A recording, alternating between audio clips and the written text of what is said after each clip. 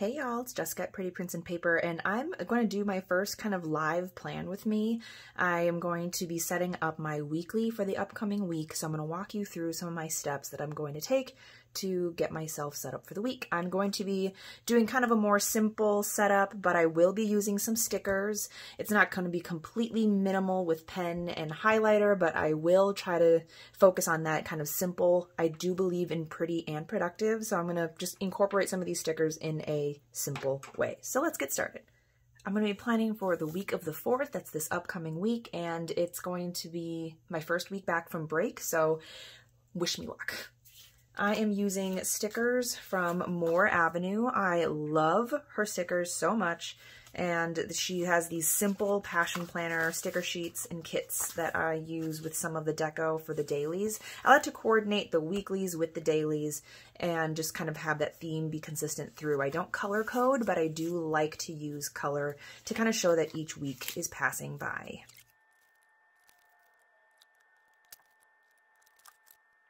Okay, so next she has these stickers that are meant to cover up certain bars of the to-do lists down here. In order to understand what is going on during that week, I have to use my Google Calendar. And this is where I pull information from to sticker into the week.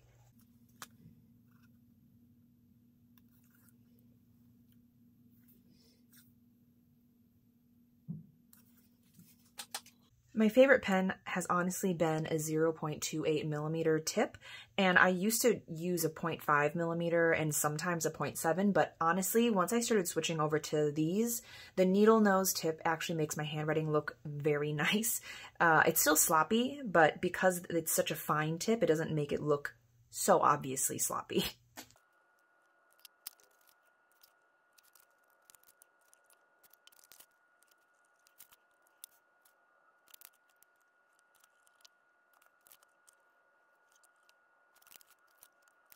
Honestly, I never know where to put these, so I just kind of put them in places where I have big expanses of time.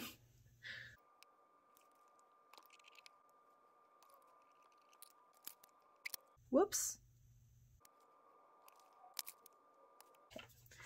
And then there's a bunch of these little flags that you can put that will fit right on the lines here.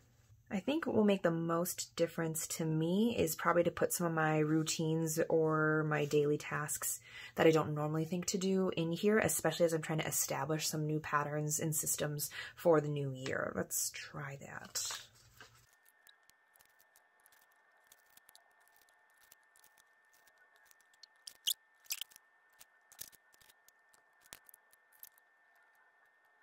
So over in the corner here, I like to make this kind of a bar chart with um, the hours that I go to sleep. So I'll highlight eat in the morning with one of my other favorite planning tools, which is the lightest Tombow pen, which is an N89. It just creates a really, really light shadow.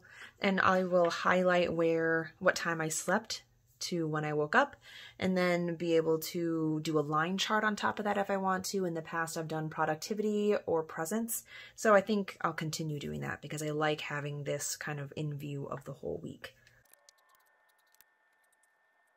So there's never enough room on here for all the things that I want to write down, so I split this column in half. It lines up perfectly with the two columns here.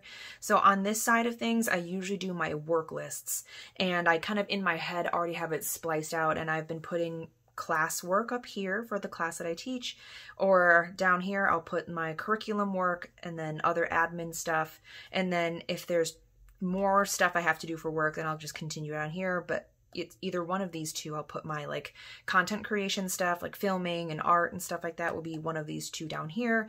These are for my personal tasks and stuff that I want to do for other people and for stuff at my home they just happen to have these habit stickers, so I'm trying to fill these out with maybe the most important habits. The thing for me is that if it's out of sight, it's out of mind. And so what's helpful is that I put this on a stand, I put it on an easel, so I see this at all times at my desk because, you know, I don't have to go anywhere. So I'm trying to think of the three major habits that I think will make the most difference or that are the most difficult for me to complete so that when I see it, I will think about doing it. For the black, I love using the Uniball Signo, and it is the most opaque white gel pen that I have personally found. It writes kind of thick, so definitely not as thin as the 0.28, but it is a really, really nice opaque gel pen. Really smooth. Okay, so I decided on my daily paragraph. I saw this in Llama Letters Cindy's video about doing, instead of morning pages, she's going to do a morning paragraph. I don't want to say what time I'm going to do mine, but I'm going to start with just a paragraph in general whenever I feel like it. Uh, moving is obviously something that I've put time and time again, tale as old as time, and then sleep by one o'clock. There was a time period where I my habit was sleep by 11 and then it became sleep by midnight and now it's just out of control. So I'm just gonna just hope for the best with sleep by 1 a.m. And here I just wanted to put the meals. I um, You can look at my video for the meal matrix, how I do my meal planning, but I typically just make two things a week for myself because it's just me. And so for me, it's helpful just to be like, okay, plotting out, just making sure, and I'm trying to be better about leaving room because honestly, I don't have it down to a science yet, and sometimes I want to feel like eating something else or something I'm not hungry. So just leaving space for that to adjust. And then I'm going to be filling in some of the weekly tasks. What I do here is I have to look at my monthly, and what I want to do is get better about looking at my monthly and looking at what is really, really important for my projects this week so that I can properly prioritize where my energy goes.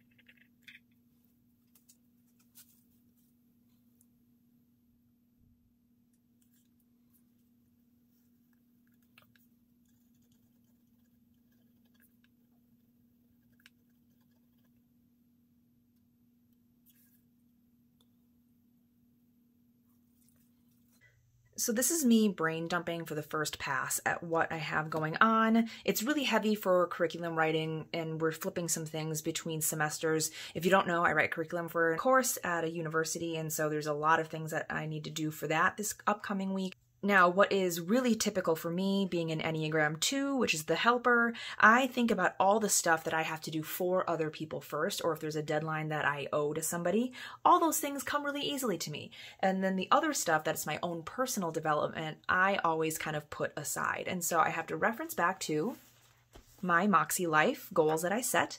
So these were the monthly ones. You can look at my video for the goals that I had talked through and set for myself. But I have to remember to go back to this so that I don't just focus on the stuff that I have to do for other people. All those things that feel urgent always quickly push aside the things that I want to be important. So let me look back at what I wanted to do. This last week, I accomplished some of these things I didn't accomplish this, so I'll bring this over. So I will take a look at these weekly actions and pull more from the monthly goals so that I can spark some ideas as to what I need to make sure I prioritize in my weekly.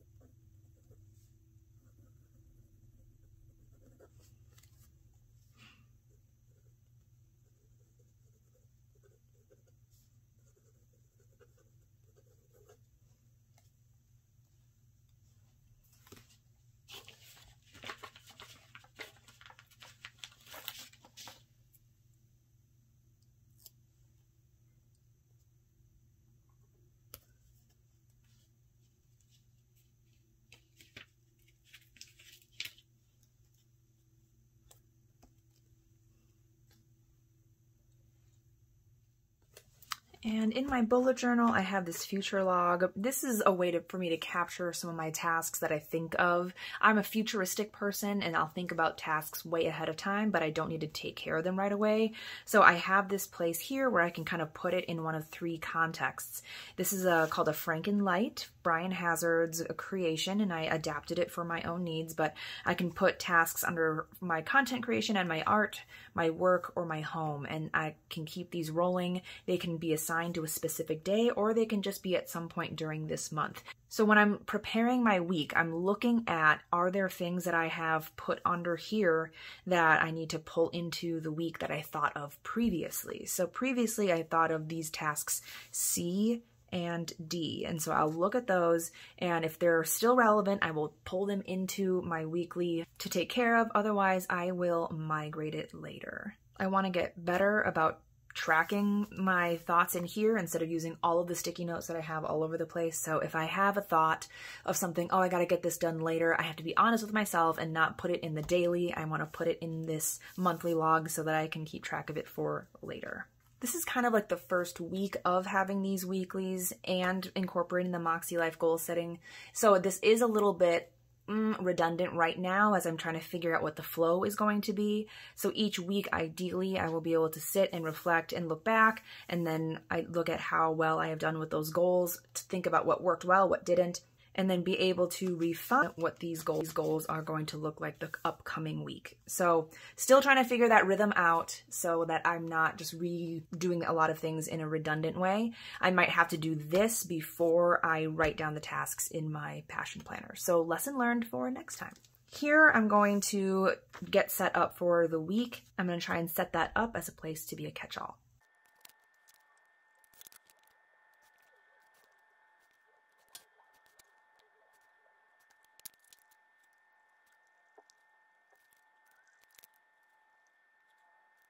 So as I go throughout the week and I think of things like, oh, I got to, you know, this occurs to my mind, I just want a quick place to dump it.